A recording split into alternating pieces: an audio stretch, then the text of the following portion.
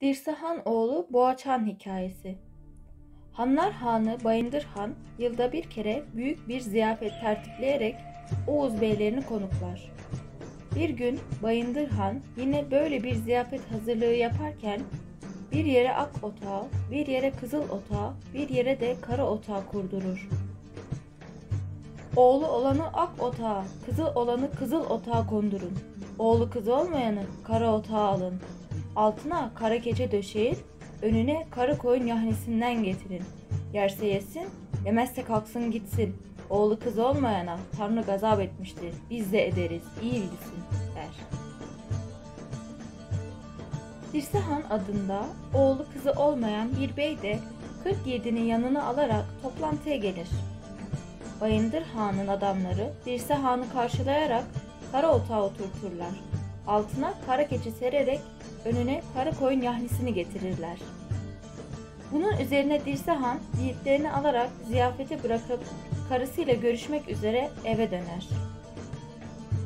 Durumu anlattıktan sonra hiddetlenerek çocuk olmamasında hangisinin suçu olduğunu sorar.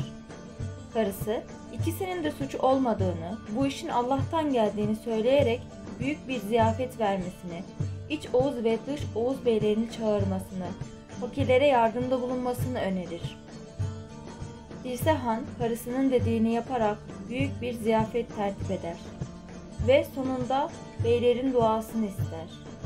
Beyler el kaldırıp Dirse Han'a çocuk vermesi için Tanrı'ya dua ederler.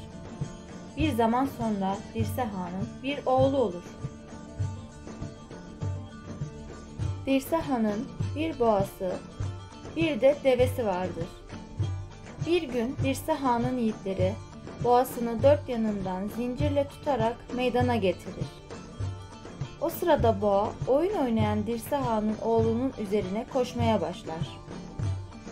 Çetin bir mücadeleden sonra Dirse Han'ın oğlu yumruğunu boğanın alnına vurarak boğayı öldürür.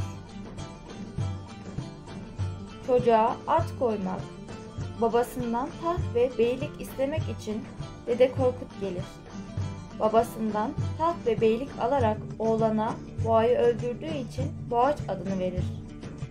Boğaç, beylik alıp tahta çıkınca babasının 40 yiğidini anmaz olur. O 40 namert yiğit de eski itibarlarına kavuşmak için Boğaç'ı yok etmeye karar verirler. Dirse Han bunlara kanarak oğlunu öldürmek üzere bir av tertip eder.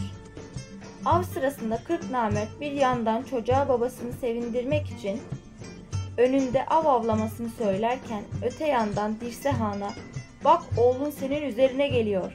Geyiği atarken seni vuracak deyip Dirse Han'ı oğlunu vurmaya teşvik ederler. O da çekip ok ile oğlunu vurur.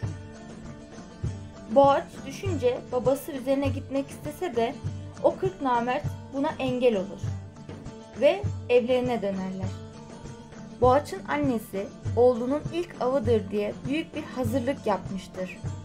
Fakat gelenler arasında oğlunu göremeyince deliye döner.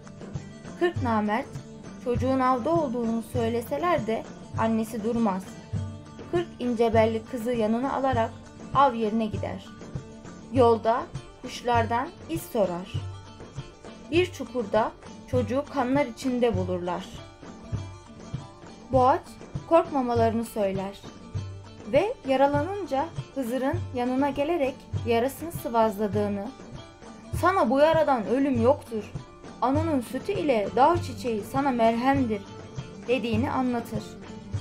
Kırk ince belli kız dağ çiçeğini toplar ve boğaç kırk günde iyileşir.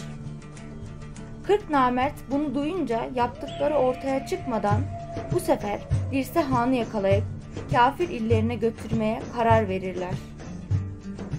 Han'ı tutup ellerini bağlarlar. Boynuna bir ip takıp yaya yürüterek kafir illerine yönelirler. Annesinin isteğiyle Boğaçan arkadan yetişerek kırk namerdini öldürüp babasını kurtarır. Hanlar Hanı bayındır, Boğaç'a taht verir, beylik verir. Dedem Korkut gelip bir destan söyler.''